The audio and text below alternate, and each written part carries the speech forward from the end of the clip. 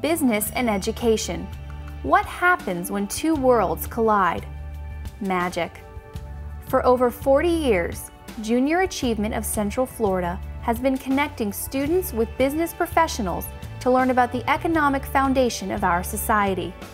To date, we have reached over 1 million students with our message of inspiration and education. These numbers tell JA's story, but what do the students have to say about junior achievement? I like the program. I think that the program